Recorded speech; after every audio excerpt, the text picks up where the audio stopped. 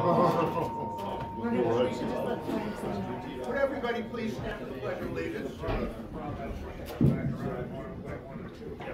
Good afternoon. Welcome to the joint meeting of the Lexington um, Rotary Club and also the Lions Club joint meeting, the May 9th meeting. The Pledge of Allegiance will be read by past President Spencer, the one verse of America, past President Dan Olson, invocation, Don Sherman, our welcome song, Charlie Vale. I pledge allegiance to the flag of the United States of America and to the republic for which it stands, one nation, under God, indivisible, with liberty and justice for all.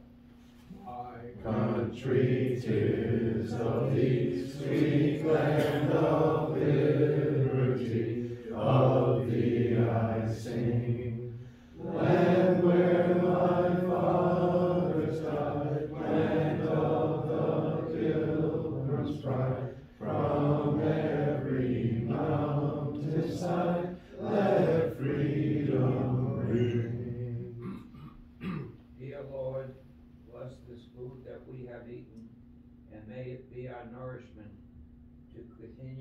our Rotary and Lion service to others.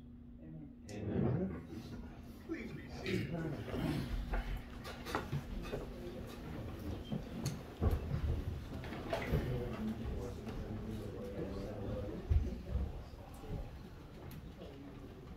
Charlie Vale, can we have the welcome song, please? We're gonna introduce our guests first. Charlie Vale, can we have the welcome song, please? Uh, let's see, uh, However you want to do it. why don't we have all the Lions stand? All vi- All the visitors, excuse me, all the visitors. All visitors.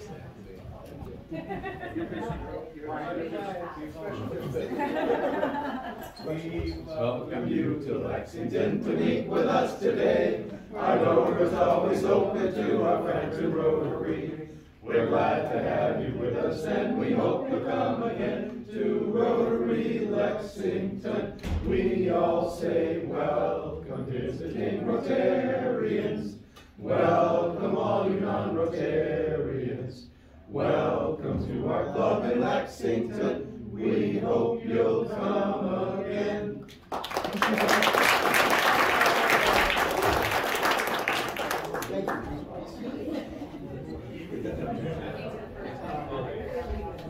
Thank you. Secretary's report, please. Past President Frank. Uh, President Cleve, it's my pleasure to do the attendance report today. Uh, First, I'd like to start out by saying how happy I am, and I think I speak for all Rotarians when I say that uh, it's nice to have the Lions back with us again after a two-year COVID-induced hiatus. Uh, It's a, it's a pleasure to be able to, to meet in person. Uh, So we welcome you all, not just with the song, but with these words also. We're not going to do individual attendance of all the Lions because uh, it would take quite a long time, which is a great thing. We have uh, 12 Lions in attendance with us today, almost matching the 13 Rotarians who are here today. Uh, So fortunately, we do outnumber you, otherwise I would have had to find out the Rotarians. uh, We're not having a better showing, but uh, it's great having all of you here. Uh, In terms of introductions of the non-Lions in attendance today, uh, past President Spencer, could you introduce the guests of your team? Sure, I have uh, pleasure to have two. We have Gordy, Gardy, uh, the owner of Revolutionary Hall, a fine establishment here, really good beer selection, great food. Little applause for him since he's a guest. And for our office fans, we have the assistant to the assistant governor here, uh, Peter. Hopefully somebody got that reference. Welcome. Uh, Vice President Michelle, would you introduce the guests at your table? You mean? Megan. Oh, I, I. Sorry. I- Five, five dollars. I'm Five dollars on me. Michelle and I'm Megan. sure Our speaker uh, at, at our table, his name is Bryant McBride, and Marty's gonna give him a more, um, a more formal introduction. This is his assistant Linda Spoladoro, and we're happy to have him here. Welcome. Welcome. And past President Dominic, would you introduce the guest at your table? Oh, we we have a great guest here today. Hopefully, he's going to be our next Rotarian. It's Abby uh, Sudi. Did I pronounce it correct? Close. Okay. and he has been sponsored by our assistant to assistant governor, Peter, as well. So, and he's a a RYLA as well. So uh, he's, he's checked all the boxes for us. Fantastic. And works at Leader Bank and is a medical student. So other than that, he's really not doing too much. Welcome. Thank you very much for having me. So in summary, we have thirty total in attendance. Thank you, Past President. Before I do fines and happy dollars, I just want to thank um, the Lions. Uh, We finally got together here after the COVID year and everything. So glad for all of us to be together. Both clubs do some real serious work, which we'll, obviously we'll get into that part of it. Uh, Recently, we met, we were invited actually to the White Tricorn Hat Dinner Award, um, which obviously is a serious event. We had a little fun. with, uh, Halfway through the uh, event, the Lions Club bell went missing. And it was detected, um, well, actually, it wasn't detected, was pointed out by Jim Shaw, who was the, um, recipient of the uh, White Con, White Tricorn Hat Award. Uh, As such, he was, yes, as such, he was held hostage, he had to pay ransom, and past President Dan Boozer actually paid his fines for him, so it was quite entertaining, uh, with that. Um, It's a tradition, it has been kind of a gag type of tradition, which, um, kind of goes off and on where bells disappear. Sergeant at Arms, you are duly authorized to use any fair or unfair tactics to make sure the bell doesn't disappear. Yes, sir. I'll use these two. if necessary. Can I keep these?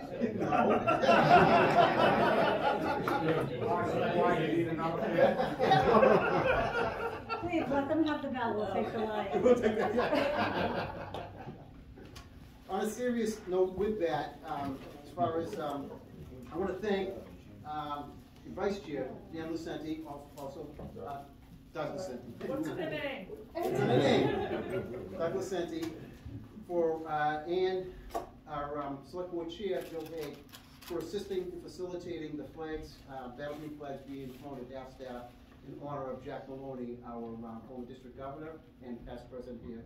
So Dan, thank you for that. I did thank, uh, Jill. Doug, Doug. Doug. That's right. Doug, you can find one. Doug, No. Doug, thank you so can much for find that. one. Yes. At this point, I want to, um, have, um, President Paula from the Lions Club say a couple words. You don't want me to come over there? Wherever you want. Am I too close to the bell? I want to shake things up over there. Um, I just wanted to thank all the Rotarians for inviting us. Uh, we have also missed, uh, joining you guys. Um, it's been a long two years. Um, we hope we can do it again, and, and I'm not gonna attempt the bell, because you guys are obviously way over protective today. Um, we'll, we'll, we got another two years, you know, we'll see. Um, but thank you again, and we look forward to, uh, seeing you join us next year.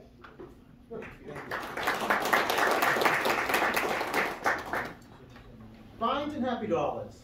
Everyone start it out? Past President Spencer. Uh, so I'll put in 20 happy dollars for a couple of things. Had a great vacation, went over to uh, the Canary Islands for April vacation, made it back, a little COVID related stuff coming back, which was not as much fun. And then the last uh, three weeks have been spent on basically lacrosse fields and soft, uh, softball fields. Um, but to that extent, my daughter made the junior high team and is doing really well. And my son got asked to play on a regional select national team, and he's going to try out in the end of July. So fingers crossed, he's already working out in the backyard to get in shape for it. So.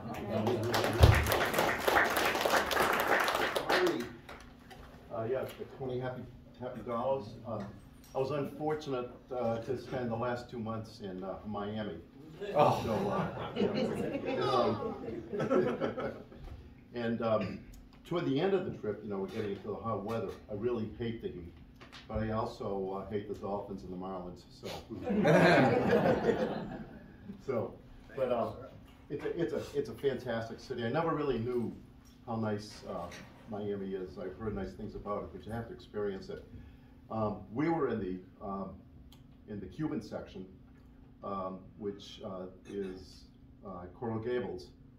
And, uh, it's, it's absolutely beautiful. It's uh, a lot of Spanish architecture.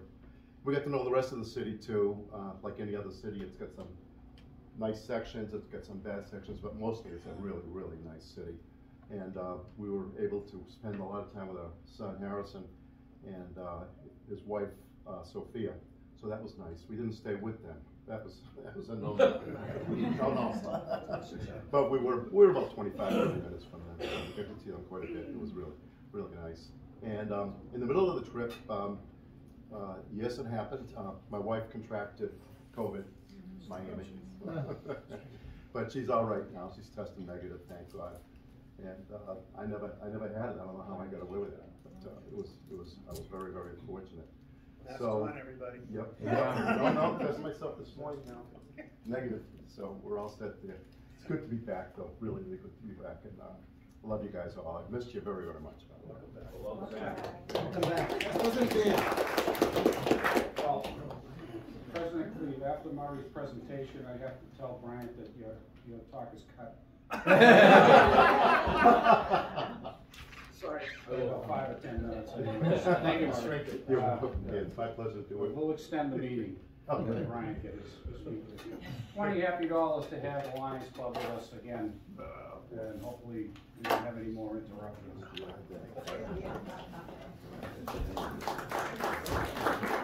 Doug Placenti.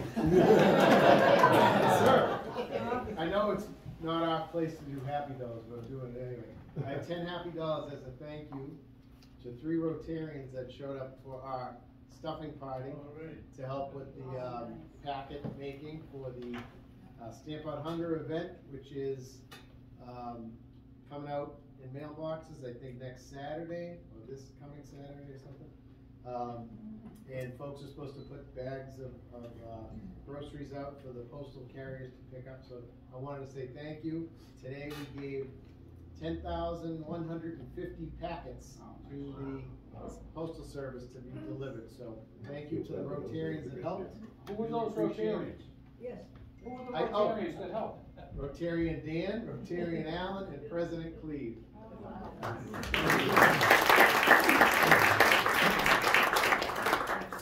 Sergeant at Arms. I too, I have twenty happy dollars, uh, to welcome the uh, Lions, and just to say, they're a very generous group. Charlie Vale, is that?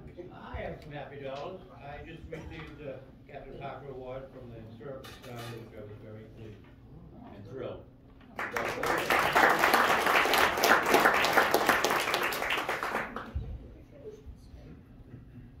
Anybody else? One more. Uh, Paul Jenkins. Here's twenty happy dollars. This is in honor of my father, who was a lifetime member of this golf club and past president. That's right. This golf club meant the world to him.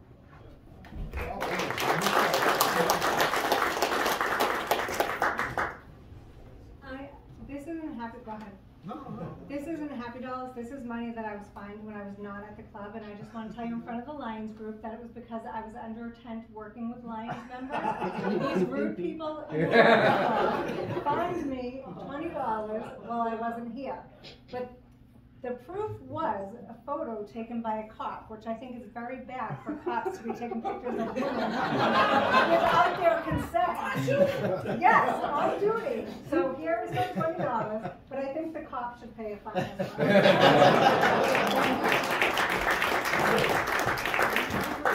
Does anybody from the Lions group have an application?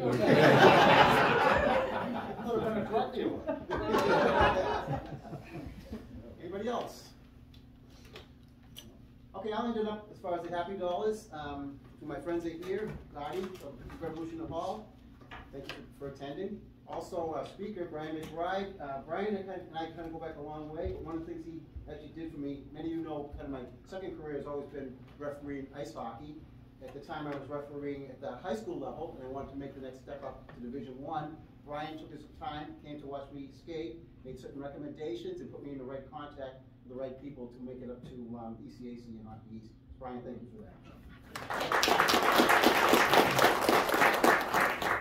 What do you say, get rid of the double blades? Take skating, take skating lessons. I saw the film. I'll move quickly with the business, because considering that um, somebody was a little long-winded, I was gonna give them two minutes for hooking, but. Uh, Scholarship uh, update, um, past president Jim Freeling is moving ahead with that, um, with the three schools as far as um, candidates, and we're in the far end of the um, as far as finishing that up. So our meeting will be, um, the twenty-third at Minuteman, uh, next week, next, next meeting, actually, as far as that's concerned. And comedy night, past President Spencer. Oh, just really quickly, so it's coming up first weekend in June, that Friday night, June third. Uh, three great comedians. It's gonna be at the, uh, now it's the Sh- uh, Scottish Rite Masonic Museum. Yeah, Masonic Museum here in town. Uh, drinks, appetizers, three great comedians. Um, if you haven't bought your tickets, please do so. Um, we are going ahead. We have uh, 135 or so. We're hoping to get closer to 200. Um, so if you are interested in attending, let me know. Um, go on our website, grab the uh, Colonial Times. There's a big ad in there that you can just scan and get your tickets from that. Um, so hopefully you can see everybody there. Thank you. Thank you. Weekly raffle. Oh, raffle items, Alex Oil, Pickerling Financial, and Eagle Bank. Food tickets. All right. First. Nine zero zero one, last four numbers, nine zero zero one. Congratulations. We have a plethora of spectacular gifts for you on that table. Feel free to choose. The plastic plates, no. Uh, Yes, right, no, no, no, not these. I'm sorry. Right here. Or any, any of the models of the club too. You could probably take those poster boards.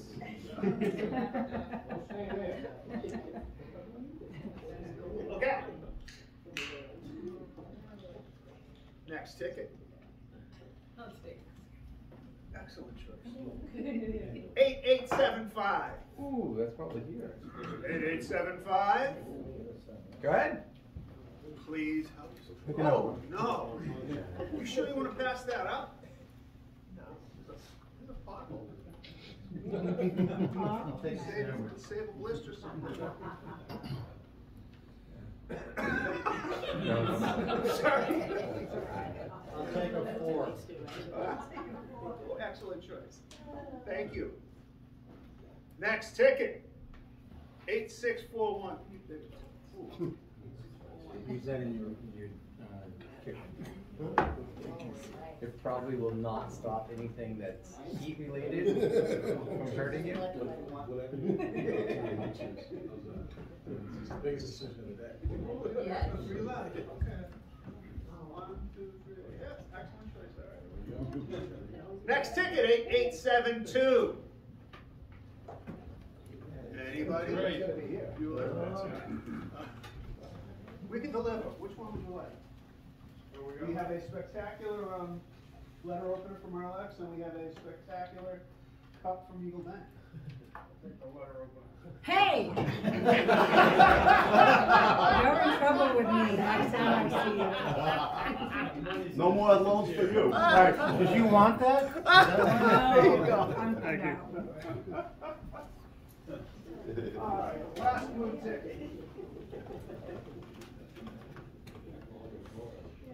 Ooh, nine zero zero zero. Yes, sir. Oh.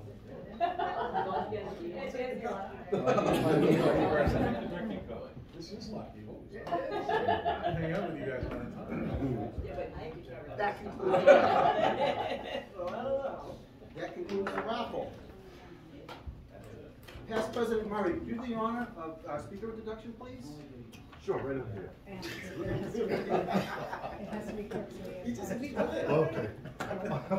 I've been reminded it's gonna be quick because the speaker has to get the talk. Yeah. So probably in about a half hour, you'll be all set. Um, I, I gotta tell you a couple of things about Brian, uh, I really, I've got his bio here, but and I'll tell you about that in a sec too, go read it out. But he was one of the most pleasurable people to get to speak. Cleve Genya's name.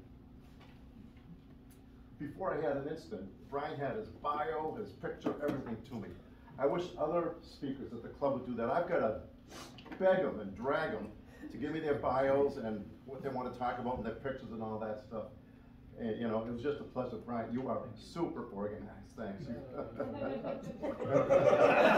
welcome. Somebody on his team is super.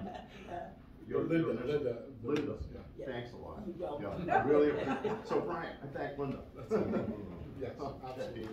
Anyhow, Brian's, um, bio is, is full of information. Usually I can, I can just take a few keynotes and, and, uh, mention the speaker and what it's all about.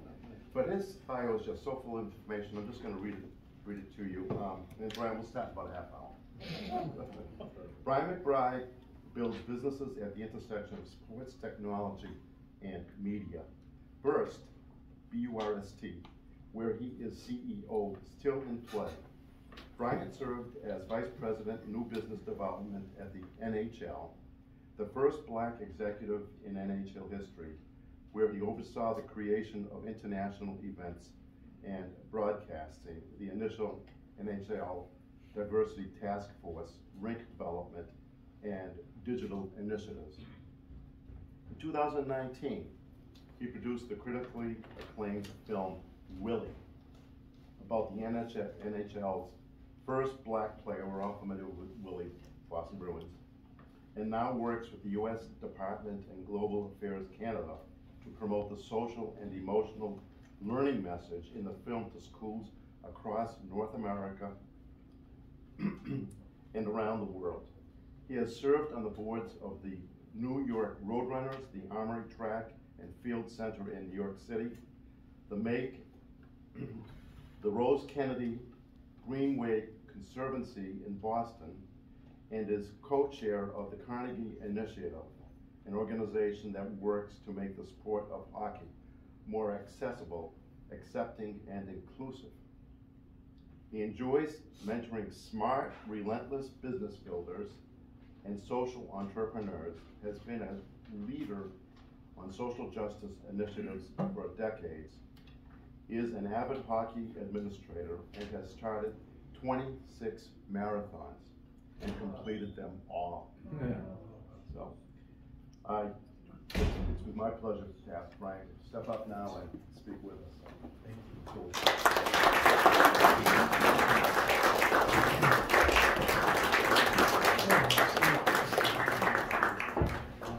gonna stand right here, if that's okay. The, uh, marathons feel like a long time ago. After, uh, I ruptured my Achilles on vacation. two weeks. So I'm, uh, I'm on the injured reserve already. Um, so first, first thing I, I have to say is thank you. Um, the, the gratitude, the acknowledged gratitude for the happy dog, I've never, seriously, I, I was like, wow, I mean, and thank you also, um, it was mentioned, some of the students that, um, are fortunate enough to be the recipients of your largesse and, um, and the caring and, all that you do for this community day in and day out. Um, My daughter Marielsa is one of those students this year. She's a senior at Lexington High School. Um, Some of them interviewed her and she was fortunate enough to, um, to receive a scholarship from her, so thank you for that as well. It's just a small, small piece of, again, what you do in this community, which is incredible, frankly. So it's not lost on anyone. Work, and that's a lot of time, that's a lot of years. It's a lot of blood, sweat, and tears, and it's a lot of teammates. It's a lot of friendships that, that go into that, into that, into those words and into that bio. One, one particular piece of that that, um, that I'm especially proud of is the work that I've been fortunate enough to do with my friend Willie O'Ree, who Cleve has spent some time with and met. And, um, for those of you that don't know him, he's an exceptional, he's, he's just an incredible guy. And, um, that, this work started on my desk thirty years ago when I was at the National Hockey League. And it really started before that, when I was a ten-year-old, and I wanted to be the first black player in the National Hockey League. And when I was living in, when I was growing up in Sault Ste. Marie, Ontario, Canada. And I went to the library, and I found his picture and words that he was first black player, and I was pretty angry with him for about two years. But I got past it. I worked through it and got past it. I made my way to the National Hockey League. I was fairly second, seventh higher in 2003. and um. And um, one of the first things that I, I put in my sights was finding Willie O'Ree. And um, there was no Google. And Willie was, um, for lack of a better way to put it, he was forgotten. People forgot what he did and who he was. And um, so I called a friend of mine in the FBI black agent. I swear to God. Um, and and he said he said he's a hockey fan. He goes, oh yeah, Willie O'Ree. And he said, give, give me a couple of days. And a day later, my friend Rodney called me and said, he's a he's a security guard in San Diego at a hotel. And um, everyone had forgotten about him. And so I said, wow, that's amazing. I, I just that that hit me like a ton of bricks. It really did. This guy had blazed history and, and overcome incredible things. I knew what it took to get there, and everyone had forgotten about him. And um, so I got on a plane, went to San Diego, and, and I met Willie. Um, I'm gonna stop there to show you a quick trailer, a two-minute trailer of, of, the film that we made um, a couple of years ago about Willie, and then I'll tell you a story about meeting him for the first time.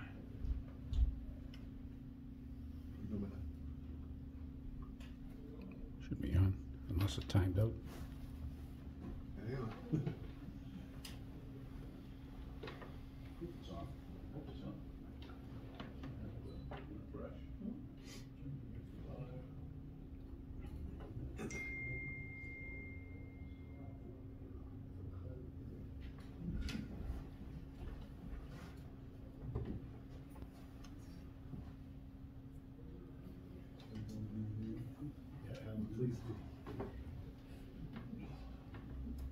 Brian, just so you know, this doesn't happen at Lions.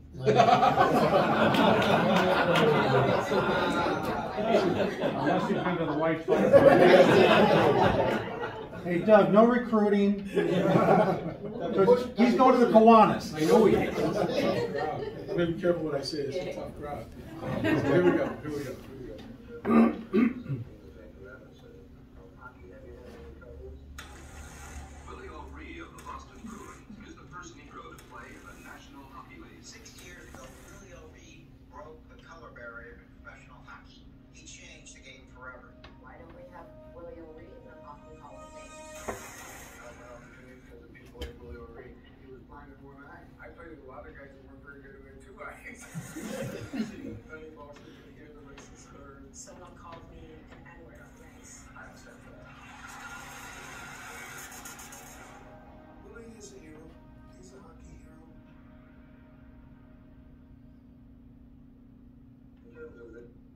So, when I first met Willie, sorry, it's very weird to hop during I've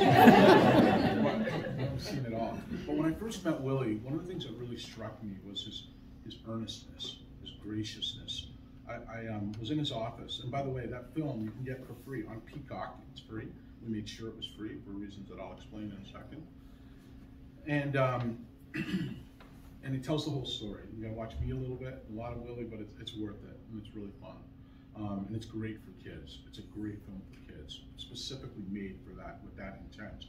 So I'm in his office, and which you'll see in the film, and I look up, and there's about the size of one of those, this huge plaque, about that size, and, and it's the Order of Canada. That's the highest civilian honor given to any citizen by the Canadian government.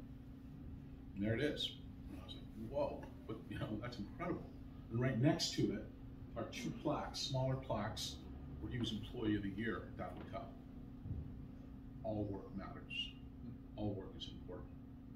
That's what it said to me. And I was like, this is the guy. This is the right guy.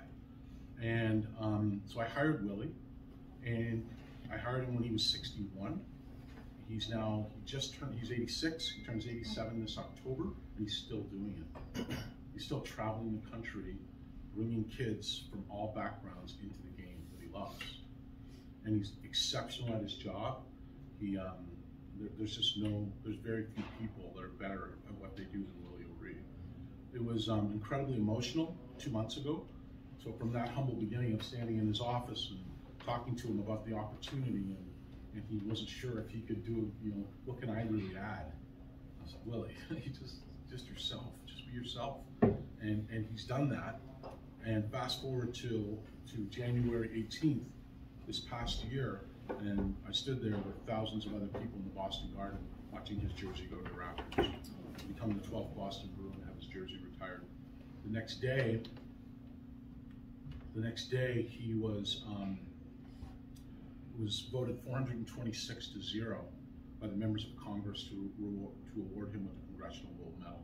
These guys can't agree on much, right? that they agreed on, right? So, so that's that's that's been his path, and it's incredible. He, um, I talked to him last week. He's still going strong, and uh, he's excited about the next chapter post COVID, where he's going to get to travel again, and um, just he, he doesn't have an off switch. So it's been an incredible, incredible journey to work with him and to watch all this happen. One funny story about Willie that I will share that um, you heard it briefly um, in, in, the, in, the, video. Um, Willie had played 22 years of pro hockey. Um, he he made the NHL. He only got a 45 game career, 16 NHL, incredibly hard to make against Rocket Richard and you know Gordie Howe and incredible players in that day. And he, um, but he made it, and he um, was up with the Bruins for those 45 games. Got traded to Montreal. Ended up and ended up playing 22 years in the highest minors, in the high minors, um, and he did all that with one eye. He lost his he lost his eye when he was 18 years old. Puck deflected. Yeah, he lost his eye. He um, he kept that a secret for 22 years so that he could play hockey. His doctor said, "You'll never play again. This is it. You're done." And um, and he said, "Well, it took me about three weeks, but I was back out on the ice and doing this thing." And um, kept it a secret the whole time because they knew he knew that he would never he wouldn't be allowed to play play in the National Hockey League um, any further. So um, his sister knew, and, and, that was it. And he told told the world afterwards, after he retired, that he did all of that one eye. So incredible, incredible guy, which I'll, I'll come back to in a minute because it's important. That piece of the puzzle that, uh, that, we're, that we're working on. So he's been overcoming these barriers for, for, for just years. That's, that's, what, that's what he's done. And, you know, the barrier of race to start with, and then, the, and also simultaneously, in parallel, the barrier of disability, right? Um, you know, I talk in the work that I do. I talk about marginalized people, and marginalized people. A lot of people say, "Oh, okay, let's talk about race." But It's much more than that. The biggest minority group in America are people with disabilities, and as we get older, that group is growing. It's one of every four people have a disability, either seen or unseen disability, right? And they often get pushed to the side, excluded, right? So the work that we do, um, both in terms of the films that I that I make and um, the the stories that we tell, are about inclusion, about getting the best out of everyone, everyone's strengths, everyone's abilities being marshaled and channeled to do great things. Because there's so much that people can offer who may not be um, may not be you know centered or the, the focal point of stories, right? One of those stories back to you know, a partnership. Um, has anyone here ever heard of Julius Rosenwald? Anyone know that name? This is one of the stories that really struck me when I learned about it recently. Julius Rosenwald was the Jeff Bezos of his day. He had the good fortune in the 1880s of meeting a gentleman named Richard Sears. And the two of them built Sears Roebuck into just a monstrous, you know, Sears Roebucks, right? which is just the vestiges of our, vestiges of it are still hanging on in different parts of the world. So from the, in the 1880s, 1890s, early 1900s, they built this just monstrosity of a retail business, and he was the guy who really figured out behind the scenes, you know, how to print the shirts and how on a 24/7 basis, and how to, how to just fulfill all of that demand from a, from a at, uh, at the time a catalog retail business. He figured that out but more importantly, what he did in 1910, he got together with a gentleman named Booker T. Washington of Tuskegee Institute fame, Jewish guy and black guy. And what they did is so singular and so incredible and startling that America doesn't really know about. What they did between 1910 and 1954 was they created 5,000 schools across America and they taught black America how to read. incredible, right? They taught Maya Angelou how to read. They taught John Lewis how to read. They increased the black literacy rate in this country by 4x in four decades. They changed the world. And they did it in a way, Rosenwald and, and, um, and Booker T. Washington did it in a way where they, they insisted, so brilliantly thought through, he's one of my heroes, he insisted, they insisted, that the money only be matching, that they gave would only be matching grants. And the reason that they did it was they wanted the black community to bond, to build that, to replace that esprit de corps that just 30, 40 years earlier had been destroyed by slavery. As people selling off family members purposefully as part of, of, of slavery, right? To keep control of property, dehumanizing people. They wanted to rebuild that. And they did that by saying, for every penny you put in, every dime, every nickel, we'll match it. The black community ended up raising more money than they contributed. And they rebuilt some of those bonds that had been torn asunder over, over hundreds of, over two, three hundred years.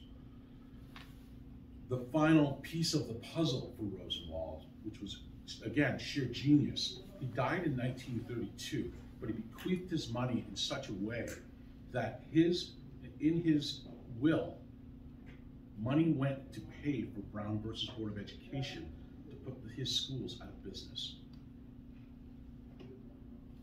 For 20, 20 years after his death, 22 years after his death. And it's brilliant, right? So those are the stories that are out there being that are that are out there in America that people are not talking about. And that one's not talked about because it was a black guy and a white guy working together to do something that was hard and controversial in many places. And they did it. And the world really doesn't know about it. It took us until nine months ago to talk about Tulsa, right? The awful things that happened in, in, in Greenwood and Tulsa. so there's stories that are hard and dark, you know, East St. Louis and Wilmington and Detroit, and there's just a whole litany of those really hard, dark moments in America. But there's also the aspirational stories, the gratitude stories, like Rosenwald and um, like Rosenwald and uh, and Booker T. Washington. There's there's lots of those people who were witness to, who were impacted by, who were party to um, incredible events and moments in this country of overcoming real hardship and, and, and odds that you know were long and, and, and huge.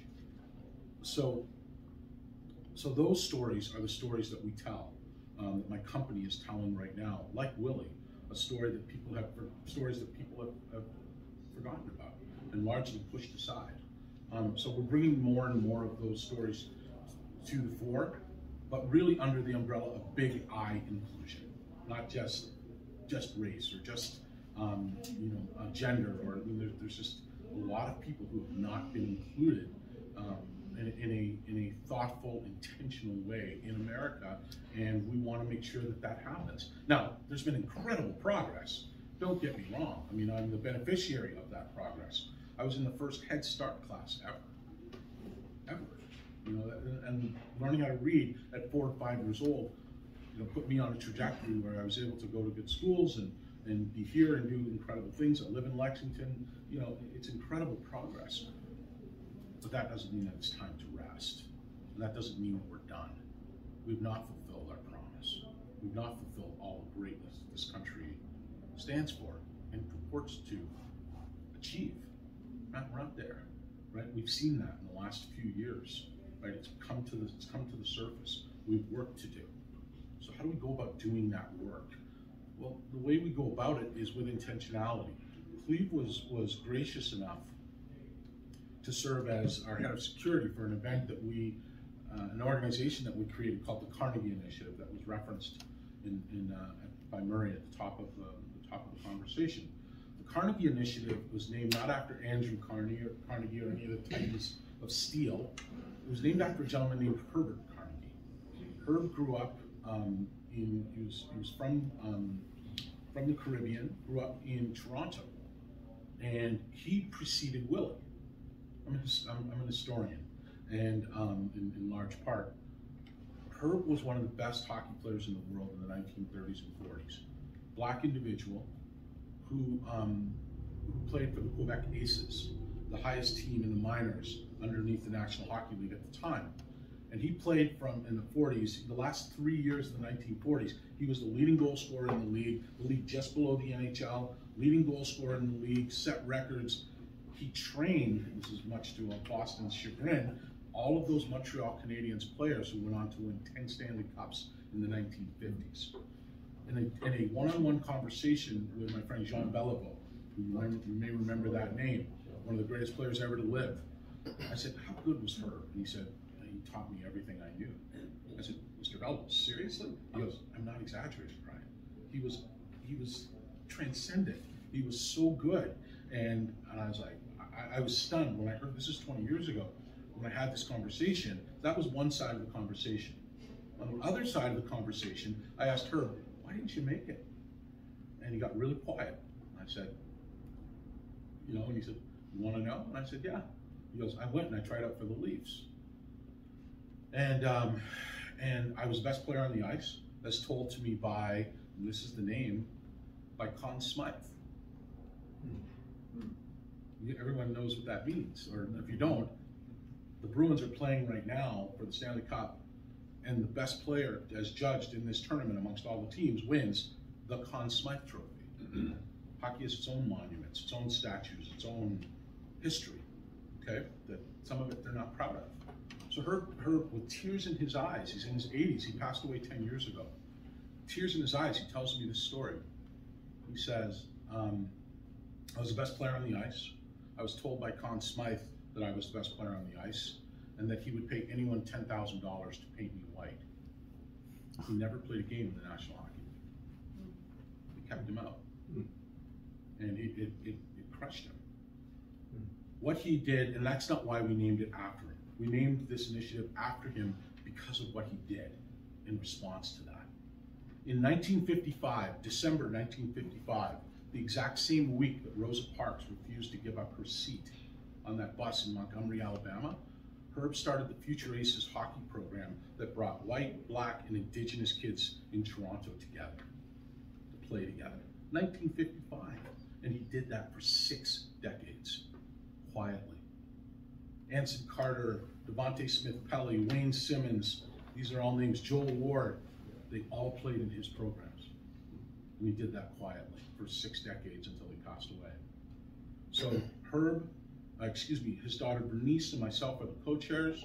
There's people like Brian Burke and Ron MacLean and Grant Fuhr and um, you can go down to Sarah Nurse, the Olympic hero from Canada this past Olympics. You go down the list, incredible people who sit on this board now.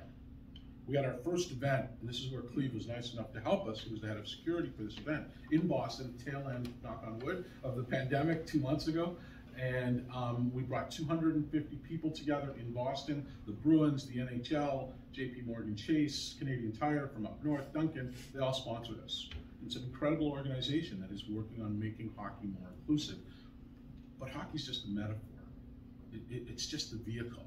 That's all it is. This organization is really about opportunity, right? About all kids getting a chance to play, feeling welcome in spaces where they traditionally have not been, and people acknowledging and understanding that and making them feel welcome and that they have access and opportunity there as well. Okay? So we did it in Boston. Next year we're going to do it in Toronto. And again, big I inclusion. Very local question, and this is near and dear to my heart sure it is to you too. Um, I, I know he was a member of the Lions Club. Who here knew Hank Manz? I won't get emotional. But um, I stood shoulder to shoulder with Hank Manz over the last 22 years at Hayden and uh, at the Edge, and we built a youth hockey program. I'm there every Saturday.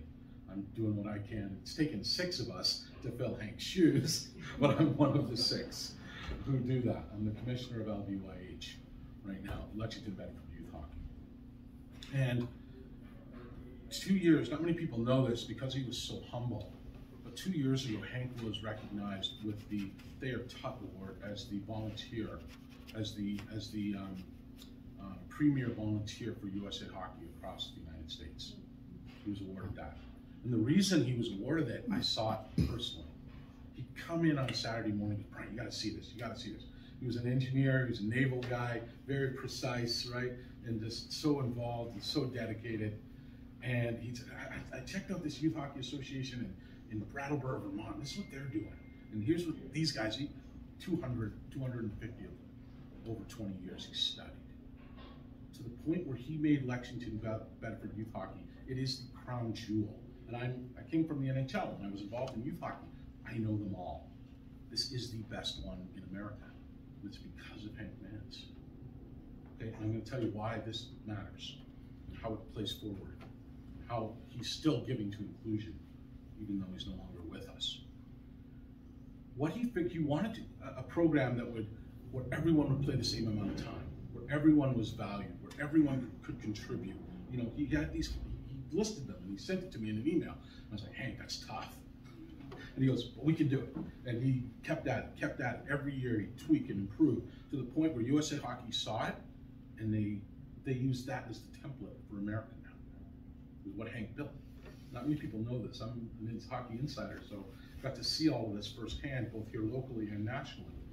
And he, the way he did it was he had five and ten year olds playing together. And what, what he figured out was those five year olds were so intimidated by those 10 year olds, right? And the 10 year olds are kind of like, oh, they're on my team, you know, the little guys, right? So he, what he figured out was the third line, five and six year olds, they play against each other for two minutes, buzzer, everybody off. Six and seven year olds, off. Nine and 10 year olds, off. So that everyone got the same amount of time. When that five year old who could barely skate at the beginning of the year scored the winning goal in the championship, which happened often, that kid was just. That was Hank, and that was his design. Get the best out of everyone.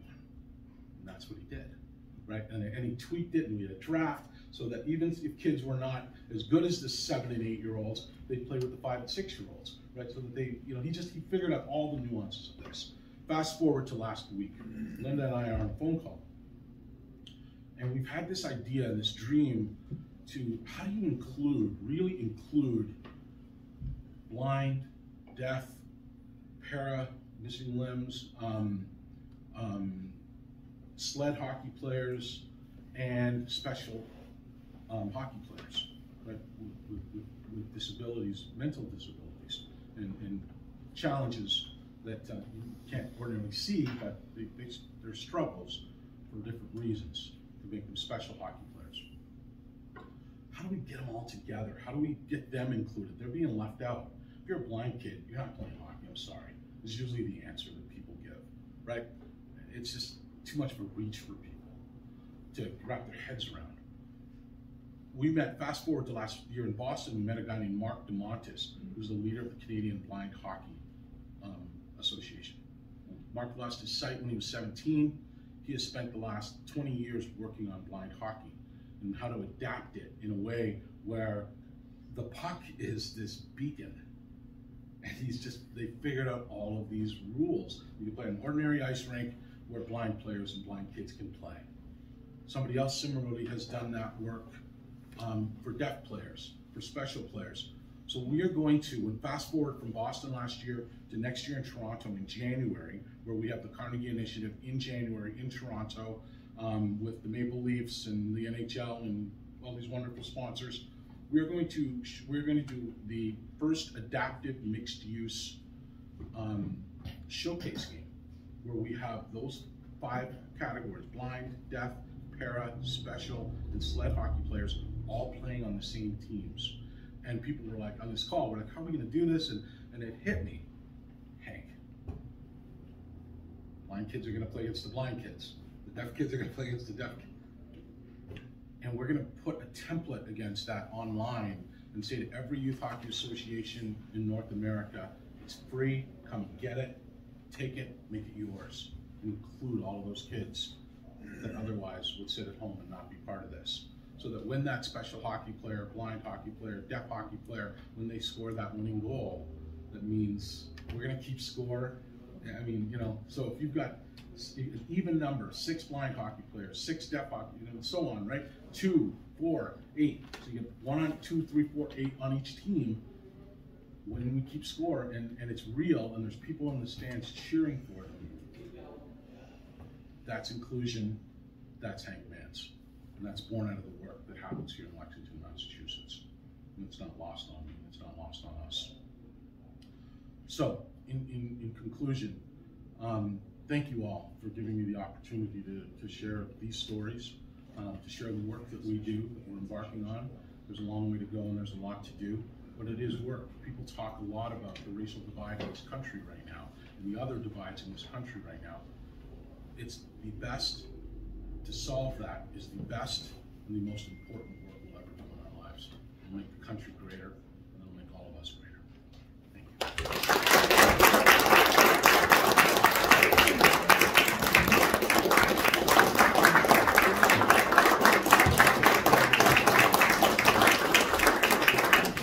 Any questions for Bryant?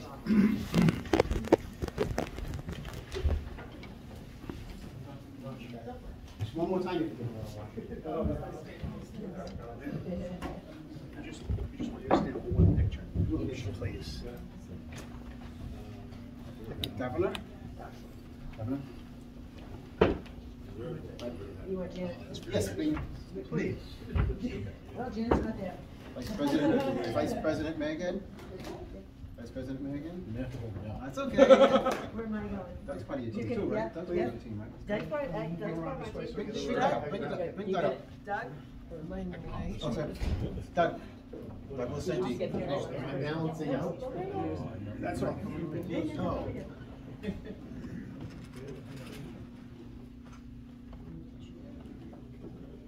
Whose camera are you looking at? Dan's or? Both, call it up. Look this way for just a second. Say Rotary. Lions. I heard second, sorry. Put your face to this. You're looking fine. Thank you. And you got it? Okay, yep. Thank you. Very kind.